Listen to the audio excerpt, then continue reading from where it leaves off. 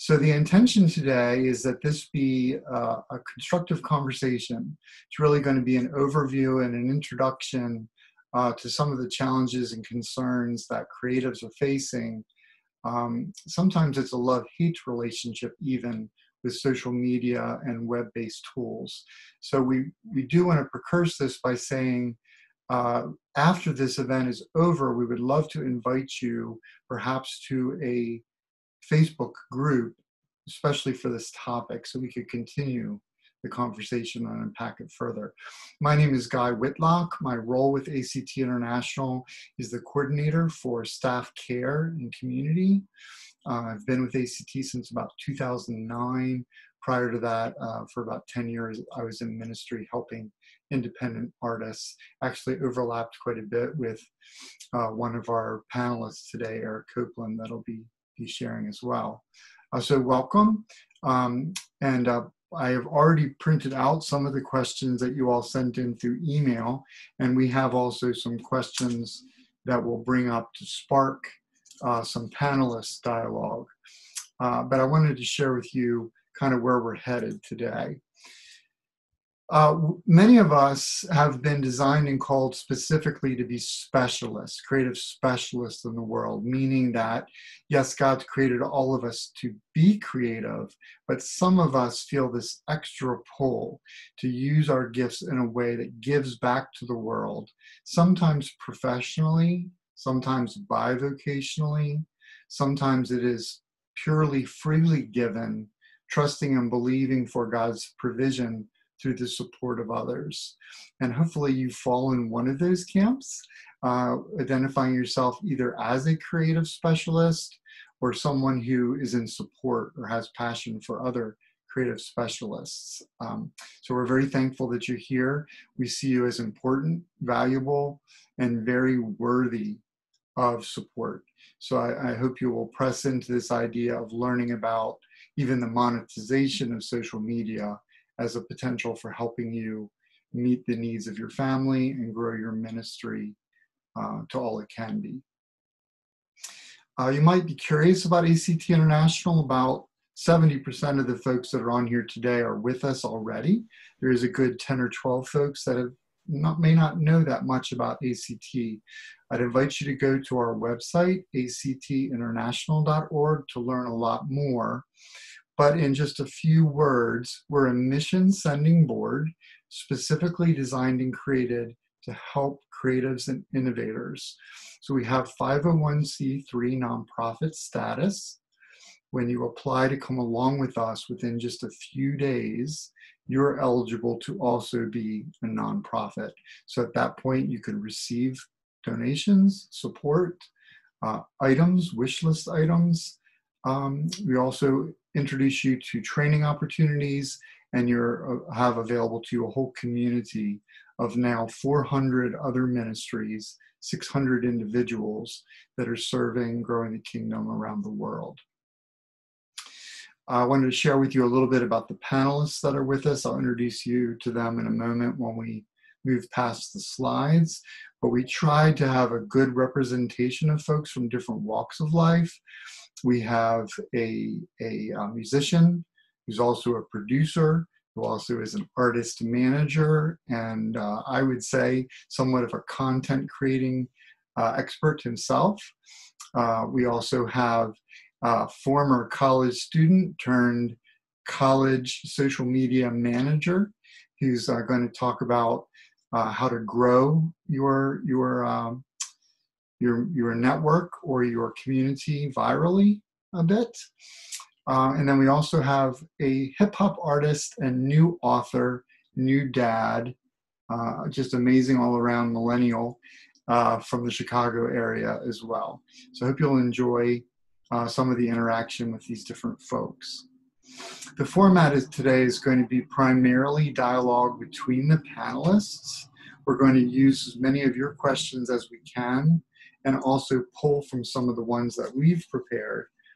If you just really feel that there's something that God's prompting you to say, and you'd like to do more than include that in the chat, try to get one of our attention through a wave of hand or or nudge Shira in the in the chat, and we'll we'll try to let you have voice there, but want to be really sensitive to the time. But know that we do really value what it is that you might have to say. And then the goals for today. I really want to focus on just a few areas. We want to talk, touch base on what are some of the realities, what are some of the challenges that creatives are facing in the social media climate, given COVID, uh, given the political unrest, given the unknowns of the economy. How's that playing in, even the reduction in live performance opportunities and such? How's that playing into things? Um, secondly, we want to look at a couple of key areas within social media that is of content creation, that is of community building, and that it is of monetizing social media to try to advance your ministries. Our hope is to touch on some key topics within that family, knowing that we're certainly going to leave something out in the mix. Just ask if you'd please mute your mic as you come on, guys. Uh, we've got a big group. Thanks so much for being here. And uh, we'll use the chat window to contribute whenever we can. And then let's pray together. I would love it, love it. Ingrid, you have a wonderful prayer style. Would you be willing to pray for us this morning? Just a, a brief prayer uh, of encouragement. That'd be great. Sure. Father God, I just thank you so much, Lord, for how you gather your people together and you call us each by name and you know our inner thoughts before we even know them ourselves and and Lord, you know how to reach the unreachable. And Lord, you also know how to reach those who are overwhelmed with communication. And and Lord, today I'm just um, asking that you would open our ears, open our hearts, let our minds receive a word from you, Lord, as we attend this share and find time with one another in community. Thank you, Lord. We ask for your blessing on this time. In Jesus' name, amen. Amen. Thanks so much, Ingrid. I appreciate that. Okay, well, just before we step into talking about doing, which is what we so often do as humans, we like to rush into the doing. I wanted to take a quick moment to remind us to first embrace our identity in Christ as creatives. And, and the president of our organization often talks about using the symbol of the cross. You can picture that vertical and horizontal image of the cross. If we'll be willing to focus on the vertical, take care of the depth of our relationship with Jesus. Keep in the back of our minds that our God is a big God and He's already capable of taking care of the breath. So we don't need to worry ourselves so much sometimes about how often we're seen, how big our platform is, whether we need to be in multiple contexts. It isn't saying that isn't important, but sometimes we get so focused on the horizontal that we fail to dedicate time every day to developing our deep relationship with the Father, who, as we know, is the provider of everything. So, just a quick reminder to get us started that first, God created everything, and He created us in His image. He is a creative God, and as a creative God, He also wants to be our God, and He gives us the free choice to make that relationship true or whole. We can run from God, but He's going to pursue us relentlessly because we've been created in His image, which means that we are also creative. And in our brokenness as humans, even as I know you can probably relate to this, even as you doubt yourselves at times, even as you compare your art with your peers and sometimes feel like you come up short, recognizing that God is already filled in those gaps, He sees you perfectly he sees your art perfectly. He sees that as not in competition with each other's art, but rather the combining of all his creative works is what makes the change in the kingdom for his glory. And as being creatives ourselves, God created some of us to be specialists. And I feel that likely most of you here are either living out that specialty in this moment or you're struggling yet a bit to how do you move from that passion that you have to be fully released in your ministry to do all the things you think you should be doing, that you hear from God that He has for you as a creative specialist. The really cool thing about this is it's not about what we can do, but because we were before we were even born, scripture tells us God already knew what he intended for us. He knew the plan he had for us, and he knew the gifts that he was giving to us. Because because God is eternal, we always were, we are, we will always be uh, as we are one with God. So I'm challenging all of us today. We're going to step into talking about a lot of doing, and it's all good stuff, and we want to be talking about that. But at the end of the day, if we do that and we fail to embrace his commands, know his character, and attempt to model that, and trust in his promises, we're going to fall short if we put all of our energy into doing. I hope you can relate to that a bit because that's perhaps meaningful to you in some ways. So let's get to the doing list. A short list of topics for today. There's a lot of them. It's not that short. What are the online need of creative needs of creatives? What do COVID challenges look like? How do we talk about content or message, community or relationship, and monetization or revenue uh, in a way that we can feel comfortable and effective within social media. And there's this idea of a social media pyramid that Eric Copeland that's with us really does a great job of unpacking. And we're arguing, if you will, that the social media pyramid starts with YouTube these days. And some would say, well, what's social about YouTube? And Eric might talk about that a little bit. There are some social aspects to YouTube.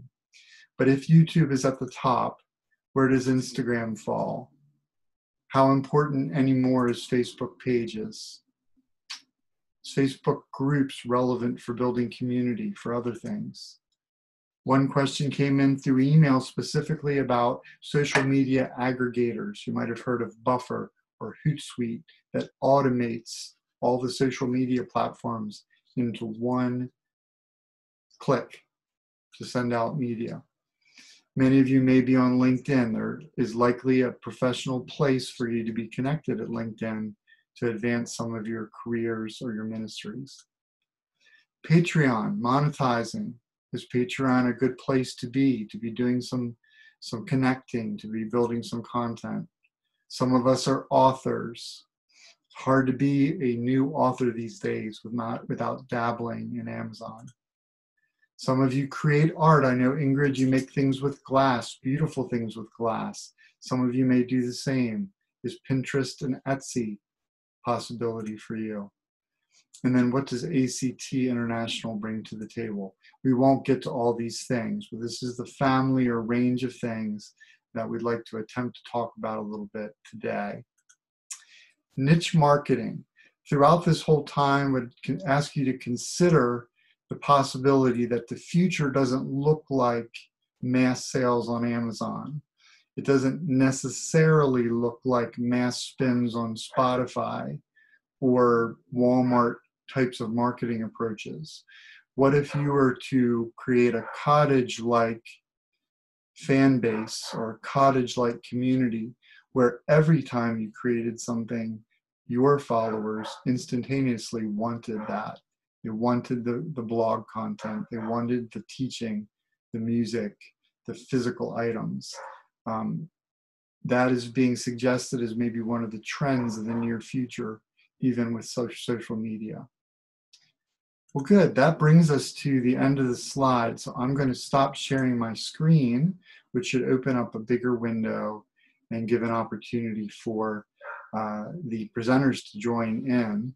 So I'd, I'd love for um, Eric and for Noah to pop in, introduce yourselves. Maybe Eric, you could go first and just tell us a little bit about who you are and uh, you know such. That'd be fantastic. Sure. My name is Eric Copeland, and I am a creative wrangler. I work with creative people just about every day and also wrangle all of my creative ideas and brands but basically, I am a creative brand creator, mainly uh, starting in the music world with music artists, but also with artists and also with other um, other kinds of creatives. It's really uh, refreshing to see all these different kinds of creatives here in this uh, thing here, from uh, authors to circus performers to uh, all sorts of things. It's just really uh, it's it's kind of a dream of mine to be involved with a lot of different kinds of creatives like that. So my daily work is usually with artists, helping them make their music or have it made in Nashville, and then helping them on the marketing side, especially doing uh, social media stuff all day long, um, YouTube, uh, getting them to the um, all the digital music stores and everything that goes with trying to help them, just like you guys, help them create a daily interaction with the public with their creative thing, whatever that is. So that's what I do all day. Besides, and I have my own music brands as well, and uh, I'm about to finish a, a master's in uh, music composition. Um, and so all that kind of stuff is going on, but mainly my day work is just what we're getting ready to talk about here, and that is how to help people with social media and how to uh, traverse all the different places. So. Thanks so much, Eric. And uh, Eric alluded to it, but he's an amazing jazz pianist and uh, has several albums available. Uh, just a great individual, a man of God, and a servant of others. And uh, been so happy to know him for many years. And thank you, Eric, for being on today. Uh, C Dub, would you be willing to jump on and let us know about yourself? Yeah, my name is C.W. Allen, and uh, I'm a hip hop artist based out of Chicago, originally from Cleveland. Been here about 10 years and uh, got my degree at Moody Bible. That's why I came here, met my wife, and never left. So I've been a Chicago native for a while now. But yeah, uh, started doing music when I was 19. Uh, prior to that, I was just a freehand artist, would draw comic book characters and all of that, and never thought I would be an artist in, in a musician sense but started rapping and, and freestyling. And next thing I knew, I was writing songs and albums. So I've been doing that for years now. And um, I'm also an author. Just released a book and album together called The Catalyst, and um, excited about that. And speaker, I do a lot of speaking as well. A lot of uh, hitting churches and preaching, but then also speaking in mainstream secular venues, I guess you would say, just uh, encouraging folks in that way. And then the last thing that I'm, well, the last two things that I'm doing right now is uh, working full time with the ministry in Chicago on the South Side called Bridge Builders. So we talk through uh, issues of race, faith, and justice. So we bring folks to, together and they talk about um, those issues, but then we also help them to process God's heart for the city um, dispelling stereotypes, thinking through the scripture, what God has to say about different people groups and all of that. And then the very last thing is I am working with the startup record label as the operations manager. So um, working. then I'm a dad and a husband. That's the big bulk of my job. Awesome, CW. Thank you so much.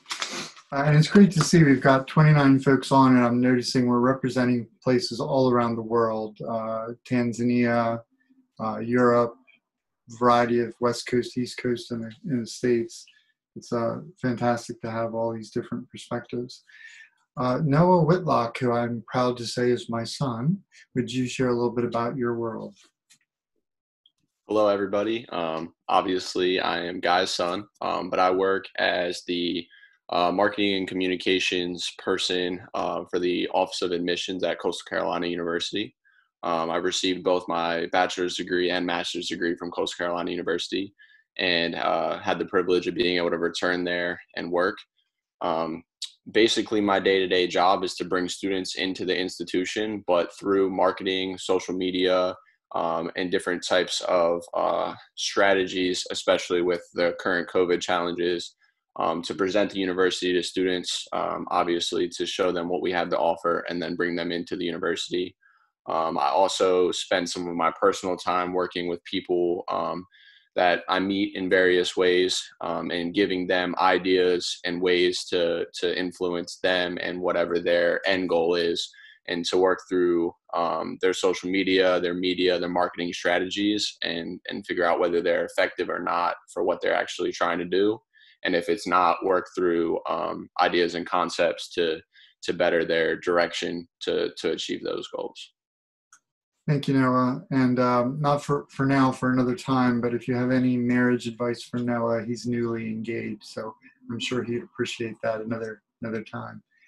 Awesome. Uh, I think we've included everyone. Shira, thank you so much. You wanted to say a quick uh, little shout out and you know a bit about your new job and such. That would be great. Uh, yeah, my name is Shara Cooney. I actually been in sales and a business development center manager at a car dealership. So I was doing their social media and kind of looking at the Google Analytics, seeing who's on the website, who and what works and what doesn't.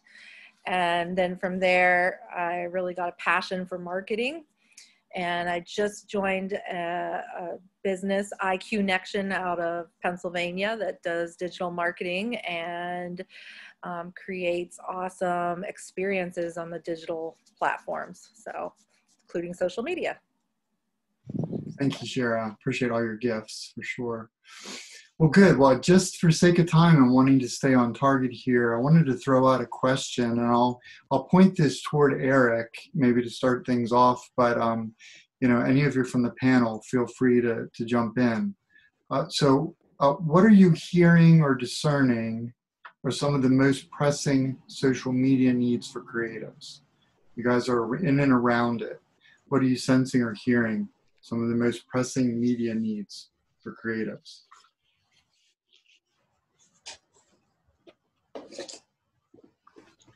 Well, I would say that what I have found recently, and that, and I have been doing uh, so much focus on trying to get out um, a lot of media, whether it's something for a client who has just released a, some kind of music thing or a video, or it's something I've just released as a video or a music thing. Um, trying to figure out what is the best and cheapest way because you can spend money doing this as we all know with ads and all sorts of things. But what is the most effective way to get people engaged in your brand in your creative brand?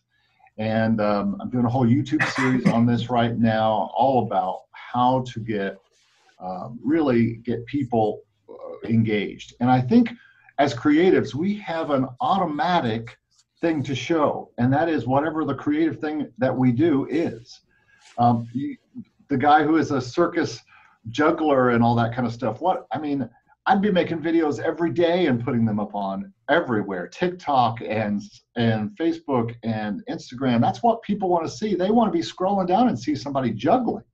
They want to see somebody on their instrument or painting or or dancing or whatever it is. That's really what we need to show off, and we don't need to worry about showing off stuff that makes money we need to worry about on social media, and I'm not talking about YouTube and I'm not talking about other things that might pay. I'm talking about the, the main social media things from TikTok to Instagram to Facebook to even LinkedIn and, and Twitter. We want to be throwing stuff up there that's going to stop the scroll, that's going to stop people from just endlessly scrolling through their Facebook and press play and say, oh, I want to see what that creative person is doing. And I think that's the basic thing that we need to do. And as creatives, we have something for everyone to see. And the fact that we don't post, and I'm as guilty as anyone, although people on my Facebook probably would not say that I don't post enough, but I, I feel that I don't make as many posts as I could with all the creative things I do just on my own, but also for clients. And so I think that's the one thing that people should take away from this is that social media is there to show off to, to be social with your friends and family, especially on Facebook, but with everyone. Because even strangers on TikTok want to see you play the piano. They want to see you dance and they want to see you juggle. And that's what people are scrolling for. They're looking to be entertained. It's the new Netflix. Yeah, thanks, Eric. That's good. Hey, C Dub, I thought to you, um, when Eric's talking, what I'm hearing is it's it's potentially a lot for a creative who's also focused on on honing their craft on yeah. developing their ministry talk a little bit about team and what bringing a team to social media might mean. What, what, how's that been for you, or what might you suggest for folks about not trying to do this in isolation? Yeah, yeah, I, I, definitely think there's room for team, especially when you think about crafting videos and things like that. So I, you know, I wish that I had a record label and all that behind me that wouldn't, you know, at least, at least that wouldn't jerk me for all my money. but um, yeah, the importance of a team is is crucial, and finding people locally who are good at what they do in different uh, concentrations that you can contract and create your own team. So like your videographer, uh, the person who's a writer who writes your press releases, all of that stuff. Um, and when you think about social media, for me, um, I have a couple guys that I really work with tight knit with video stuff. And then I have a, and I can do video, but I choose not to do it at that capacity for certain projects. Um, but then also a graphic designer. I do that as well, but I have someone when I'm like, this is the big project and I don't have time to really give it um, what I really want it to look like, then it's time to hire someone. And um, so I would say the, the, the simplest way of saying it is that you want to have people on hand that you consistently work with, even people who aren't um, the best in your city, but they're good and continue to pour into them and then bring other people to them because then they're gonna get you to hook up right? They're gonna be like yo this person is not just a person i'm giving a deal to but a person who's bringing me more business. And so the more you invest into other people the more you stick with the same people they begin to learn your brand they work with you becomes more of a family atmosphere and you still own your business. Like you don't have to give it away to someone else and so I, I think that's just a, a, wise strategic way of doing it when you approach um, creating content. But then I, I, guess after you formed the team and you created the content, I would say stockpile content too. Um, if, if you create a schedule of what you want your social media drops to look like, and then put clips from like, so say you got one video and you put and you cut up nine, 10 clips that you're pushing out the next couple weeks and pointing to the bigger clip. And uh, I, I just think it's crucial that you you kind of have stuff in a stockpile because you will burn out just trying to do it on a whim a lot. At least I found that for myself. Yeah, that great, crucial. Yeah, great words, CW. Thank you for that. And um, you know, one of the uh, quick commercial for ACT or other nonprofits that help creatives. Um, many creatives are struggling to raise revenue, let's face it, for our own ministries, let alone the ministries of others. But ACT is a platform where you can invite volunteers and interns who can, in return, then become raising support for themselves as well. So let's say you meet a friend who's passionate about learning about social media, but they don't have the skill set yet. And they would like to learn, and while they're learning, they would like to invite others uh, to support them financially with prayers and help, uh, then they can come alongside and join someone like CW as part of his team. But it's also a blessing that you're giving them by helping develop them and leading them toward what they're designed to be doing and being. Um, Noah, I wanted to throw to you. I know one of the areas that you've had a lot of success in and I've appreciated about you is your ability to expand a small group of fans, if you will, or likes on a particular post. And in a matter of a day or two, have many more folks involved with that.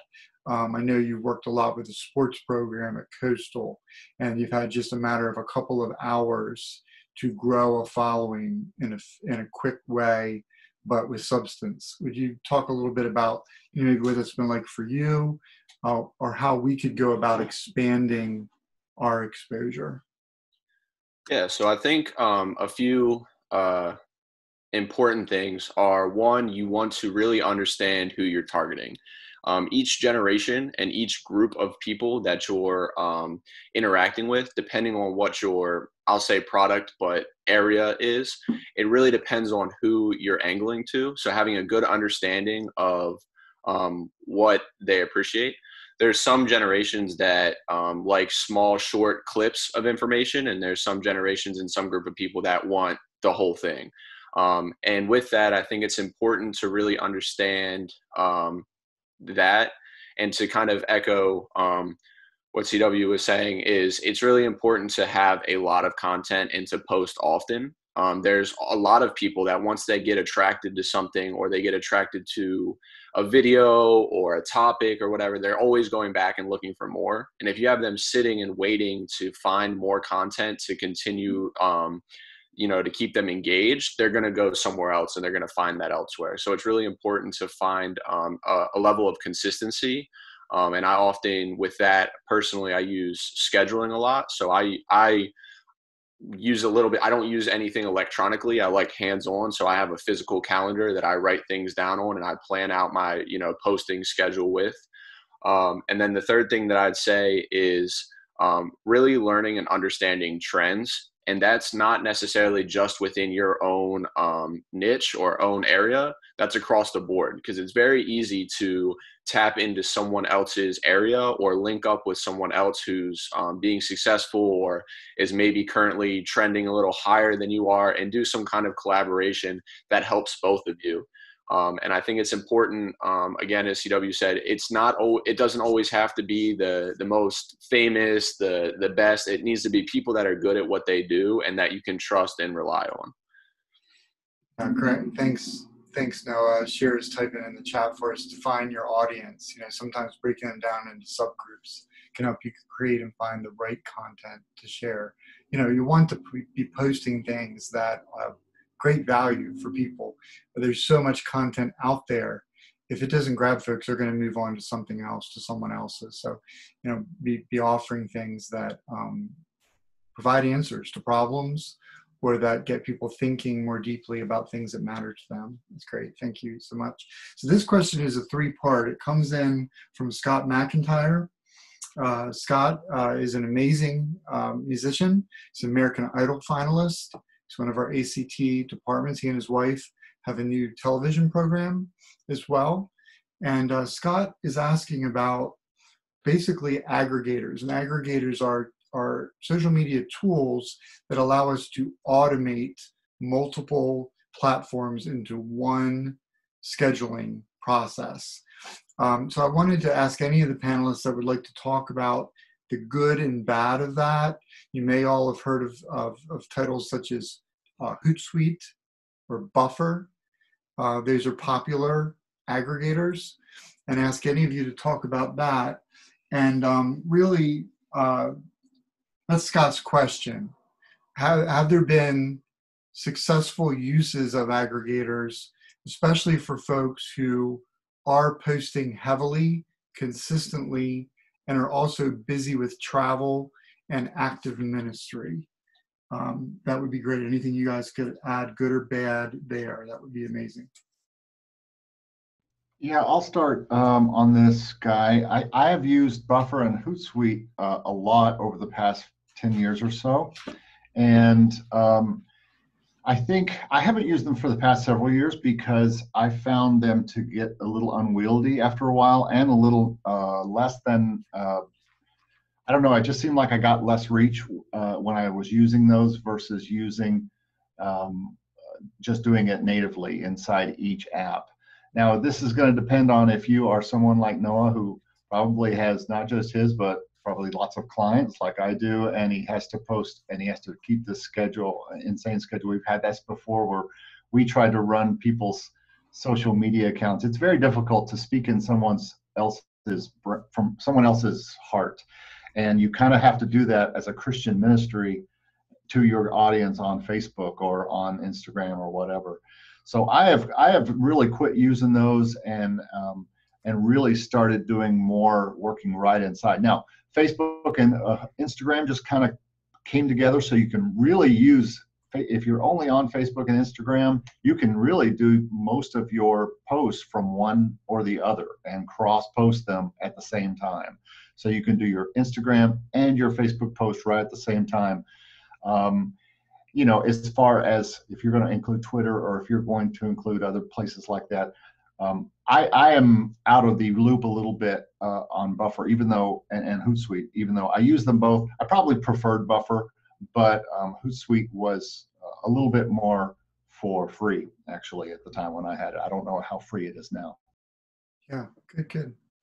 My, um, I will say that my um, my daughter-in-law is um, social media director for T-Mobile and Dish Network, and um, she's a big fan of Buffer, just because of the immense amount of social media that she has to manage. So that may gauge a little bit your use depending on volume and and your audience and things. Um, anybody else? CW? Noah? Any pluses, Yeah. minuses? Yeah, I, I would say I, I've used Hootsuite um, and uh, I think it was Sprout. I don't even know if Sprout is still going, but I used a free version of Hootsuite for a while. I liked it. Uh, it lets you post pictures for free, but um, I didn't see an option for video, which I think is one of the more important things you need to do.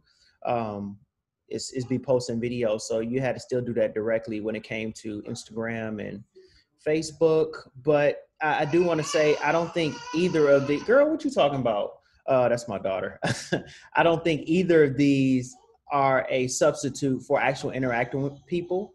So even if you get it posted with its aggregator, you need to go back that day or the next day and view comments and spend time talking with people because that personal interaction is really what people are looking for and that's what's going to keep people coming back and spending time with you and um and and thinking you know as you think about like your niche Wonderful. That's helpful. And I see in the messages um, some reminders that Instagram will post simultaneously, um, as as well as a service called Restream is another one that could be explored.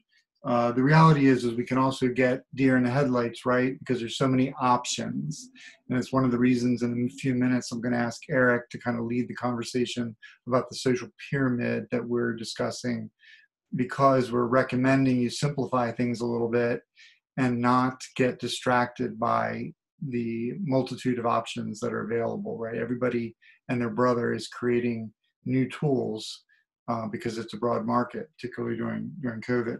Okay we got another another question from uh, the registrants here.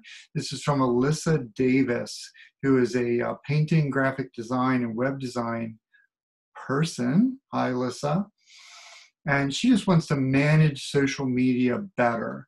I know we've talked about that a little bit. She considers herself sort of in the in the middle of things. She's a moderate social media user. Um, how could she move to a, a super effective manager of social media? Anybody from the panel? i think what noah said was great earlier You remember what it was, Noah? Can you say it again? uh, I was just gonna say, I think the biggest thing is to really um, to to plan ahead, look ahead. You can you can never have enough content. So even if you get it, take a period of time before you really dive into social media, of generating content and generating ideas and concepts and a lot of things. Um, I say nothing is ever wrong. It takes a, anything to go viral nowadays and and hopefully viral in a positive way um, but don't be shy or afraid of any ideas or any concepts because it's just that one thing that you you know you might have you know slid into the trash can that that would have blown up if you gave it a chance. Um, and with that again while i why i like to have the the physical um, calendar for planning my social media it really allows you to kind of look at everything laid out and of course you can do that um, you know on a on a web based platform as well. But plan ahead and and have things build off of each other. So start small and get bigger but have a you know have an initial post that leads into something else whether it's a you know motivation monday where you're you're sharing some kind of motivation that's linked to to whatever you're you know creating or or uh, uh, i don't know uh, i think of a lot of people that do gym related things have wellness wednesday where wednesdays are focused around it's really good to have things that um, can can continue and build on each other but um but build content and and never be afraid to to go with something or to to throw an idea out there Yeah, thanks. That's great. And um, you know, I was drawn. I don't want to get off track. I'm going to talk about Patreon a little later, so don't need forget about that. But I just wanted to give as an example. Um, I would recommend that you guys go out and follow on YouTube or any of your podcast services a duo that call themselves the Minimalists. The Minimalists. And if you want to see an example of two guys that have learned social media and rolled that into a social media machine that has changed their lives. Some of you dream about doing your art, traveling and speaking about it, teaching others how to do it, and not only replacing your entire family's livelihood, but being able to bless others on their team who were volunteers that are now full time employees simply by doing what these guys have said curating excellent content, offering it to their niche audience, doing that consistently. Um, I would really recommend checking that out. I think you would you would really get a lot out of it, whether you join or not. Um, we're not talking business here. We're not trying to sell things to people necessarily. Most of us are here freely giving of our ministries. However, um, you know, these are folks that have 6,000 monthly partners. Everything is driven by freely given gifts. And a hundred of those folks are VIP tribe followers, and they do not allow more than a hundred people in that category that get access to special content that no one else gets access to. So it's something to think about. Guy, before we move too far over Yes. to that kind of thing, Yes. let me just answer the que- the uh, one add one thing to the question. Please do, please do. Just focus on the the social media platform that you are comfortable on. If you don't feel that you are completely just um, uh, you have to do Twitter and you have to do Instagram.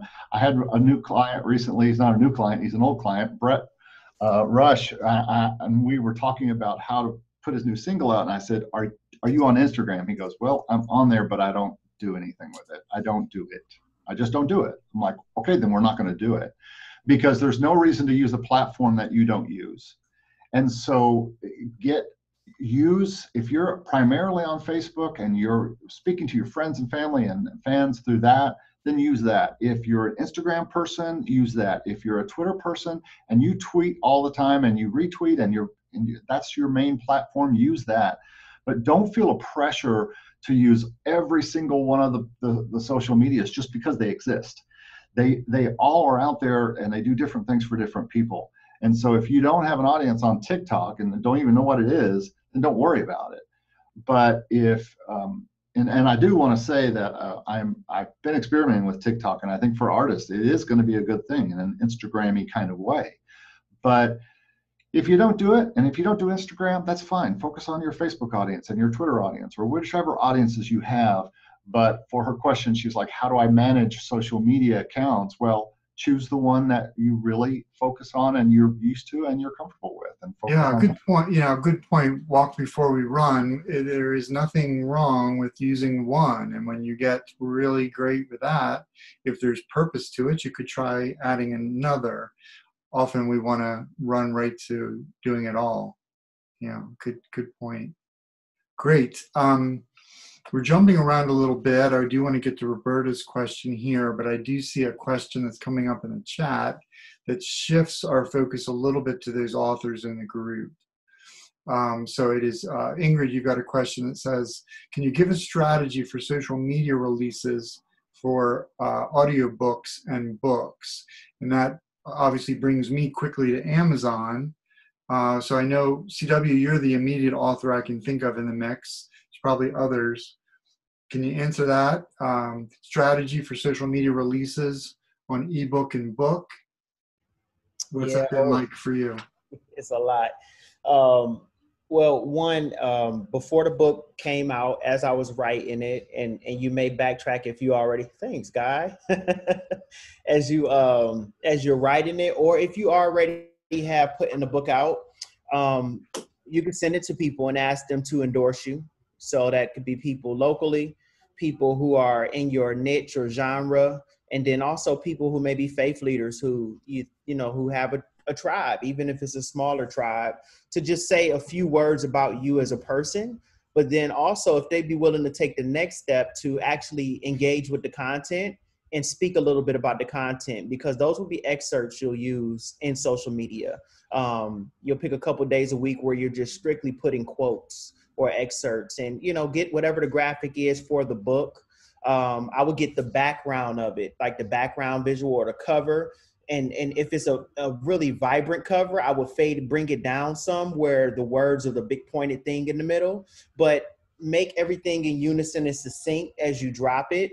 But plan to have quotes from the book, endorsements from others, and then um, so one endorsement is just them as you as a person the next endorsement is the actual content. So god did that for me. Um, guy actually helped with some editing and, and read through the book. And um, guy had posted about the book long before it came out and had said you know i bought copies. I can't wait to share them with friends. And other people engaged with that post and saw that and were like oh i'm looking forward to getting this you know or can i check it out early? Um, i think that's important. Uh, if you haven't recorded an audio book i would suggest doing that or hiring someone. You can hire someone through different um, aggregators to um, to hire someone and then they'll you know they can either take a percentage or you could pay them up front but getting the audiobook out i think is is big. Uh, i have one. I've only been doing it on my site but uh, eventually i'll you know put it out to the bigger mass. But that is also audio content you can use with the visual backdrop of the you know background of the the book, but it could also be like the excerpt from the book that you're saying, like you reading. You could post that picture up and have it reading in the background where they're like, "Oh, shoot, I didn't even know it was audiobook. Let me go cop that real quick." Um, and that that enables the different type of authors and and listeners to support you. Like me knowing I'm a hip hop artist, and uh, a lot of people that probably rock with my music um, they're not huge readers. So I intentionally wrote a book that wasn't like a big, you know, big novel, uh, a, a thicker book, and and that was very intentional. And so even little things like that, like knowing the audience and branding in that way, will help with your social media, uh, behind the scenes stuff. So um, you could easily, if you have a graphic designer who did your cover for you, or if you did it, you can show the different steps of the album of not the album, the book cover being created. So you can pre you could fake record a conversation and you describing what you want for your book covered, what you want it to look like. And then you could show the first draft, the second draft, and then the final product. You can either do it in one big mm-hmm. post where they swipe, or you can do it in multiple posts where you it's kind of like an unveil. And then when you're ready to drop it, it's like, oh shoot, like that came out. I didn't expect that. That is great. Um, IG stories and Instagram. You can do um, Instagram stories where you invite a guest, maybe another author or someone that you respect who can speak to a topic or something that's going on in your book. Um, if you know, I know that works different for fiction and nonfiction. You'll just have to know your niche, but have an interview with them. Just talk and let people do q&a while you're we're doing a, a live story. You can do that on facebook or instagram or both. They're connected now a facebook live. Um, so just utilizing video and the content you already have you'd be shocked how much of the content you already have that is yours that people have no idea exists.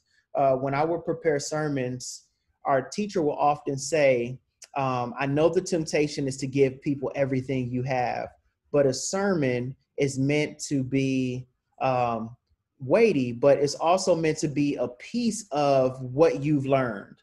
They don't need every single detail about every little historical event leading up to what you're about to teach. Just a little bit, give them a little bit of context and drop them with the stories, the, the visual, and the things that they came to hear for that 40, 45 minutes of preaching. Uh, teaching is different teaching we might go hour and a half two hours because i'm giving you everything when you think social media think everything but in bits and pieces as you begin to drop it and if you've already dropped your book it's not too late to do that stuff but like noah said earlier it's just planning it out Excellent, thanks. And as we said earlier, you can see the time's flying already, so we're not going to get to every Sorry. topic. oh, you're great, CW. Everything you shared is great. No worries, no worries there. Um, I, I, there's two questions I really hope we can get to from the audience, but I did want to give a few minutes, particularly to Eric, and the rest of you jump in as you'd like. Walk us through our version of the uh, the pyramid there, Eric, if you would, um, using that that slide that we created earlier.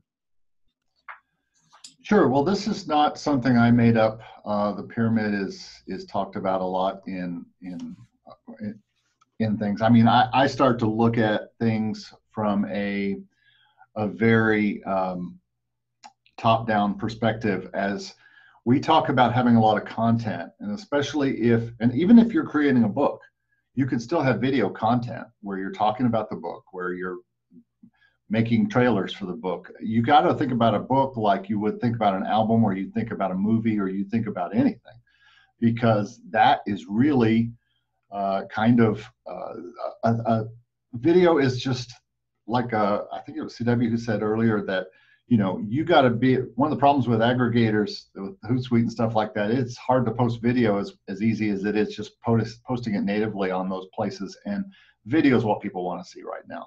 This is we, we live in a video age that's why there is tiktok is because people want to be make these short videos and make videos about their content. So even if you're writing a book i think uh, youtube is the place where you put the long form content and some short form content then you could take pieces of those and put those on facebook put those on instagram put those on tiktok put those on twitter put those on linkedin all of those places you can put your short short form little pieces of video that are going to be um, be kind of put together. And so if you see the pyramid, you you kind of have maybe YouTube at the top. Actually, probably what's at the top.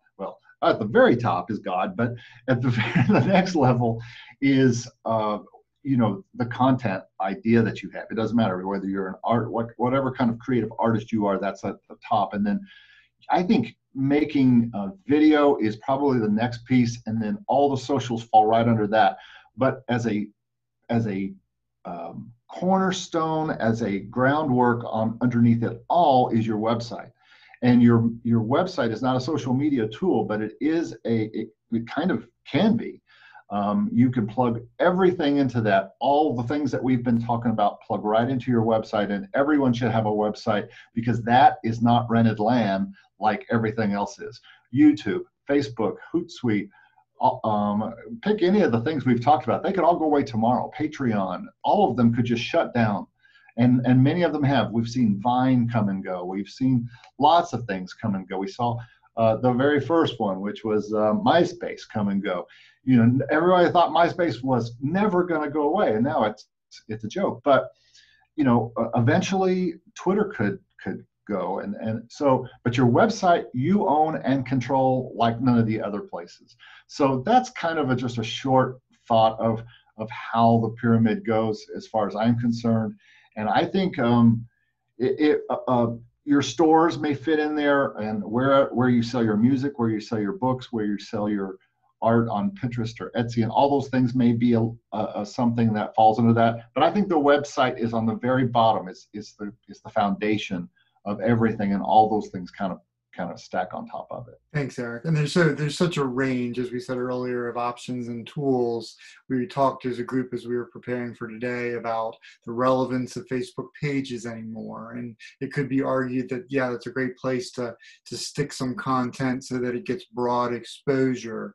Um, how many people are really going there, really giving attention there? Maybe maybe it's better to shift over some attention to Facebook groups for a different purpose.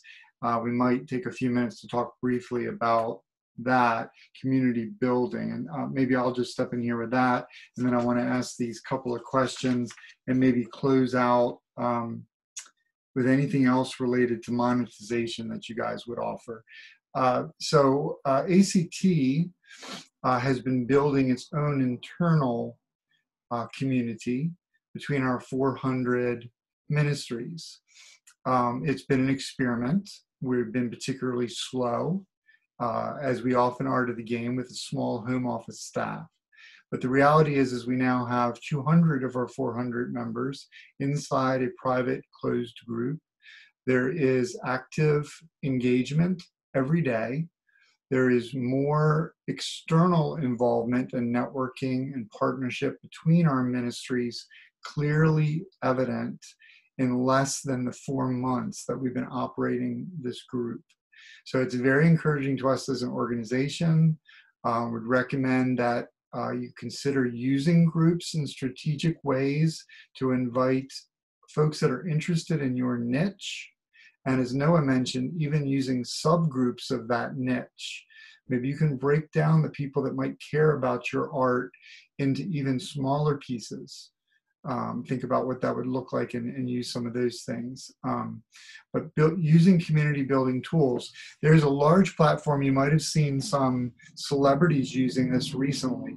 It's called Community. It's a tool called Community. Yeah, it is expensive, um, but and then probably why celebrities are able to do it and drawn to it. But it allows them to text directly with every one of their followers. And it's a personal text that comes right from the celebrity, and you have direct access right back to the celebrity in a, with a very slight delay. So you can see where things are going. We're moving more and more toward personal connection and involvement with the actual artists themselves. How can you draw closer to the people that you're interested in being in relationship with? Um, it, you know, this idea of building community is so important. Any other thoughts about community building through social media from from anyone?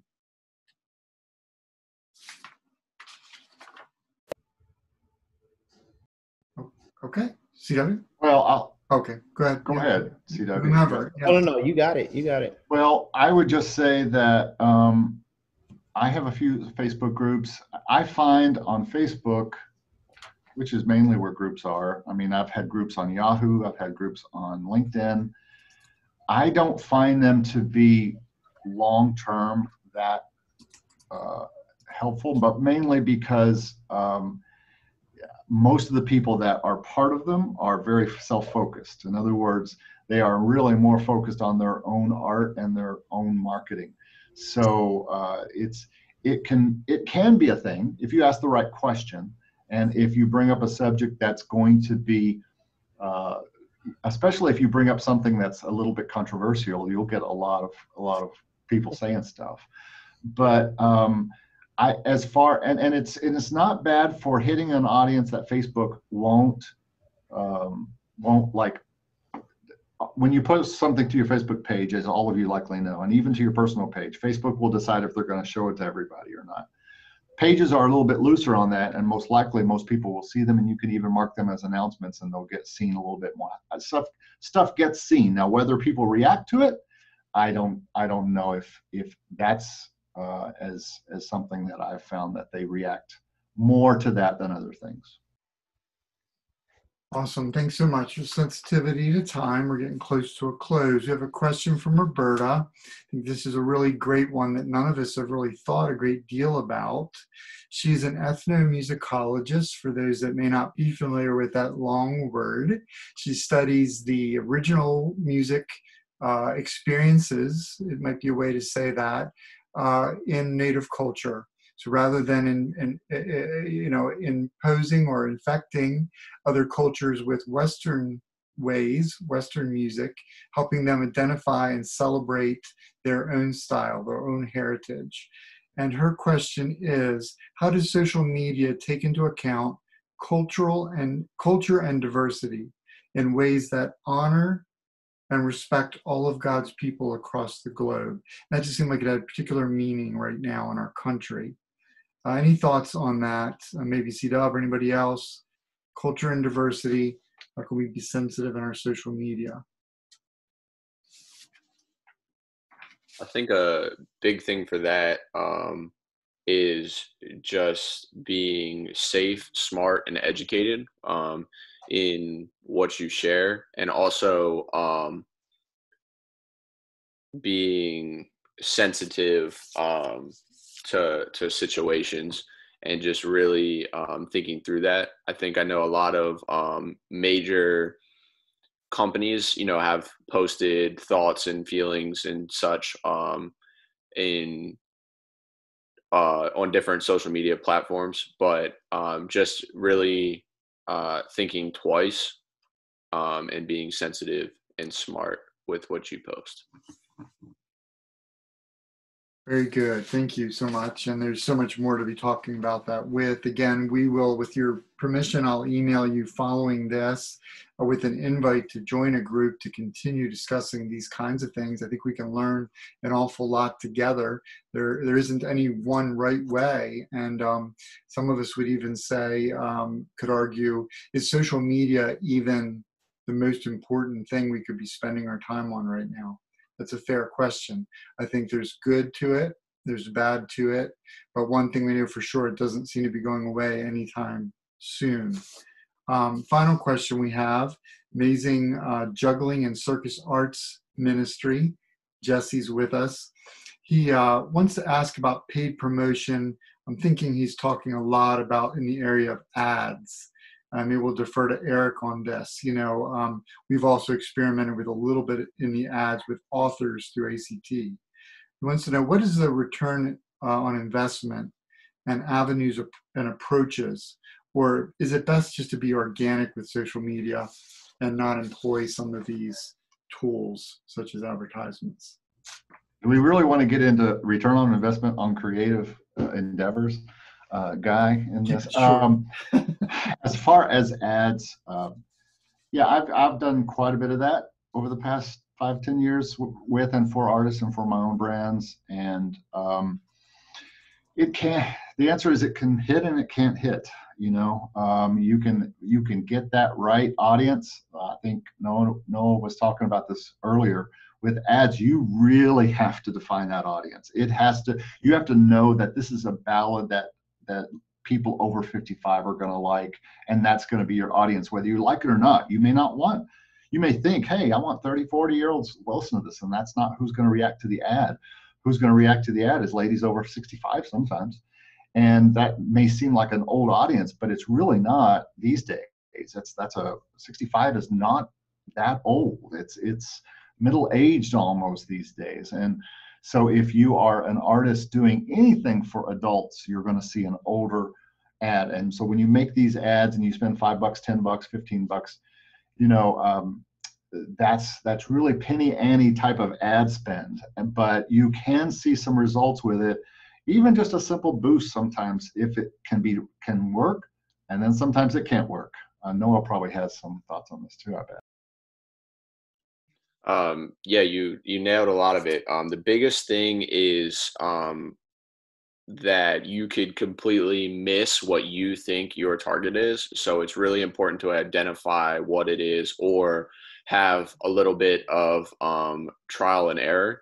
I'll just use a small example. Uh, for us uh, as an institution, we initially started out thinking that, of course, if we pick high school age students as our target and continue to target them, that's going to bring us great success.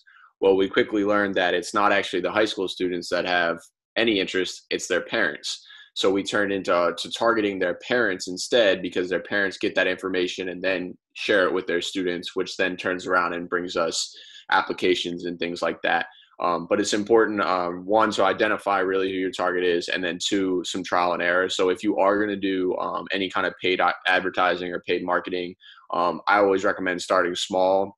There's there are and through Facebook specifically, you can do five dollars, you can do three dollars, you can do things that are really, you know, more cheap, more affordable, and they can give you a small grouping of results. But if you do, you know, five, three dollar advertisements, and then you see which one was the most successful or which two were the most successful, maybe that's where you put um, some more effort into. But um, you don't want to uh, misidentify your target and then find yourself uh, pushing uh, efforts in the wrong direction. Thank you so much. I appreciate all of you. I want to be respectful of your time. We're about five minutes over. I wish we had two more hours. We don't, um, but I'll make sure that we get uh, contact information for each of the panelists to you in a follow-up email, as well as a copy of the slides and notes and access to this video. And then I'll also send an invitation for you to continue the conversation inside a Facebook group or other resource. Guy, could I make a, yeah, a final, yeah, a final thing here? I wrote some notes as I was talking. Number one, if you don't, if you've never heard of a, a website called socialmediaexaminer.com, you need to go right now and look at that web page. Anyone who wants to know anything about what's going on currently and daily and weekly with social media, socialmediaexaminer.com. They have a great podcast. They have great uh, social media, obviously, and they have great. They just have the most up-to-date information on what's happening on every single one of the social media. So you need to check that that site out and follow their podcast and their blog. Content we've talked about. Content, content, especially video. Long form video is for YouTube. Short form video is for all your Facebook, Instagram, t- TikTok, Twitter, LinkedIn, uh, any of those things, because that's temporary content. You're throwing them bits because people are going to absorb it and then they're going to move on down their timeline. And then last thing, make sure that you don't discount your website while you're building all these social things because you can plug them all together and they all kind of work together. Yeah, that's a great wrap up, Eric. Thank you. And then just the um, pastor in me brings it all back around and says, let's not forget that we are already worthy. We're princes and princesses in the kingdom. He's declared that. So know that he will use you mightily uh, he wants us to be obedient, to do the things that we can do, but also know, and I think you've seen it in your lives, he often also uses us to spite ourselves, in spite of ourselves. So I thank you for your time. Press on, go back and review the chat notes. There's a lot of good stuff in the chat, including some comments we didn't get to. I did want to point out Freedom, thank you so much for your comment. Uh, good parting word. Freedom says, I conclude that most, if not all people, want to see or will be attracted to your passion as it is displayed genuinely. Know your story and share it with the world. Do you know your story? Practice that story. Share it with the world. Thanks so much for your time. Uh, for those of you that don't know about ACT International, I invite you to go to actinternational.org and learn more. Certainly, you can email or text me. Thank you to Noah, CW, Eric, Shira, all of you wonderful artists and creatives out there that were willing to give up an hour of your time today to be with us. It's an honor. God bless. No, thank y'all. Catch you soon. Bye bye. Thanks, everybody.